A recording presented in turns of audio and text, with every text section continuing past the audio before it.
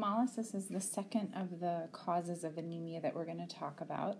Uh, and a few things to mention the severity of anemia associated with hemolysis is variable, it can be mild to extremely marked. Uh, these tend to be regenerative, of course, along with blood loss. They can be pre regenerative. These guys tend to present acutely, and so you may see it before they start regenerating. Uh, a few things we'll talk about is that you can have intravascular or extravascular causes.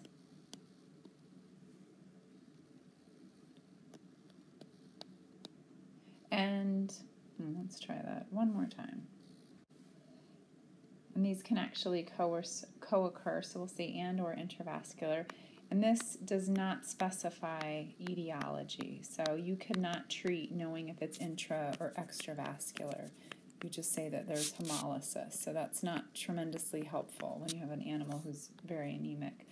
Um, and then lastly, there's really specific etiologies. Um, however, we're only going to go through the three most common ones. And the three primary etiologies we're going to talk about is oxidative or our oxidative injury, um, infectious agents, primarily red cell infectious agents, and then I always joke the only cause of anemia anyone remembers when they get into practice, and that's immune mediated. So again, extravascular versus intravascular hemolysis doesn't tell you anything about the etiology of the anemia of the hemolysis or how to treat it, but it's important to understand the mechanism. So extravascular hemolysis is essentially the normal breakdown of red cells gone vastly awry.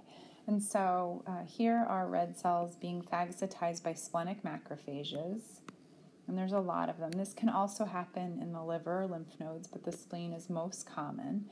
And of course, when this happens, you have a need to process the heme and the globin, and of course, get rid of the waste product, bilirubin. And that's, we'll go to, now to the next slide before we talk about intravascular. And so, just like normal breakdown of red cells, here we have too many, and what happens is the bilirubin is released into the blood, but it has to be bound to albumin because it's not water soluble. And this is when we call it unconjugated bilirubin. It's taken up by the liver so it can be conjugated and it then becomes conjugated bilirubin. And the other name for conjugated bilirubin is direct bilirubin, and that's how it's measured.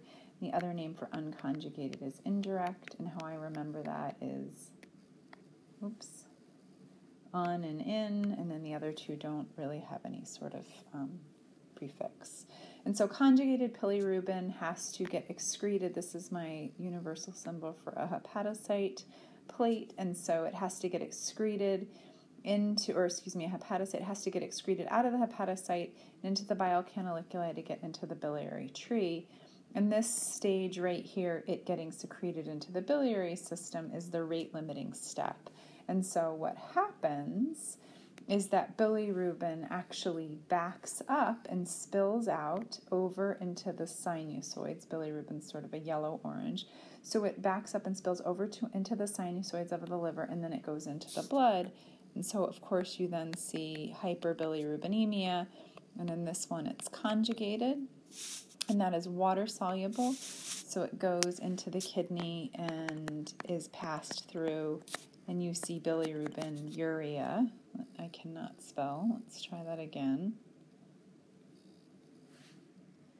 Or I can't write. So you see bilirubin in the blood, bilirubinuria. Um, you also see increases in unconjugated bilirubin because of this accelerated erythrocyte destruction.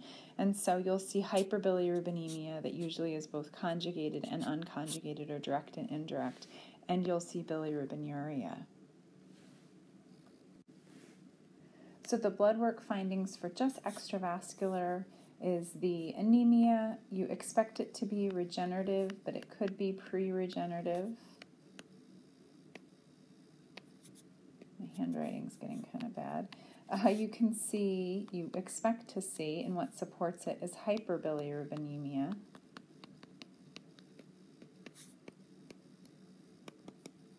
You expect to see bilirubinuria, especially in the dog where they have a low renal threshold and it spills over. Other things is you expect the total protein, this has nothing to do with any of the bilirubin, to be normal because there's no loss. So that's one of the differences from blood loss. And then we'll talk about characteristic red cell changes that you see um, that would support hemolysis.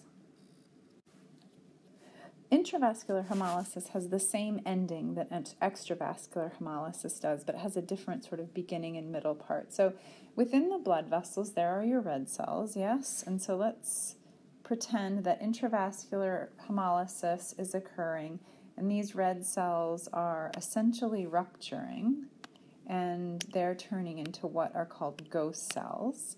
And when the ghost cells rupture, they release their hemoglobin, which causes kind of a reddish color um, to the plasma. So ghost cells are the exploded red cells, and that background red is hemoglobinemia, meaning free hemoglobin in the blood. And this is not a good thing because free hemoglobin can be toxic to red cells, especially in cats and people and horses. And so the body deals with this by having a small molecule that ties up this free hemoglobin and it's actually called um, haptoglobin, and we're going to make him green.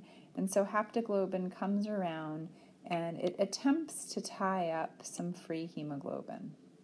Um, that is a terrible pretend hemoglobin. Let's try that again. So it attempts to tie up the hemoglobin, still terrible, too large. trying to make it super lifelike. Um, so it, it ties it up, and eventually, this whole thing will be taken up by the liver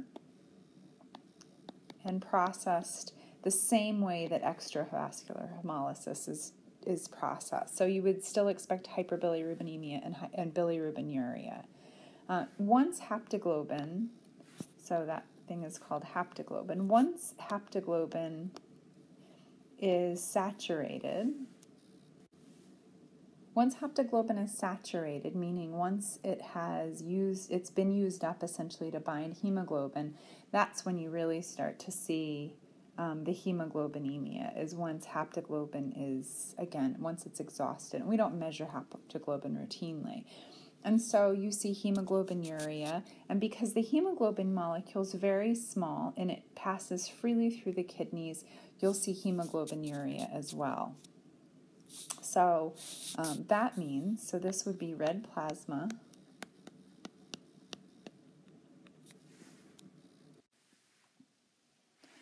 So the hemoglobinemia that has red plasma, this can cause some changes that are very special in our red cells. And that includes um, a false measurement of our hemoglobin. So our hemoglobin concentration can be falsely increased.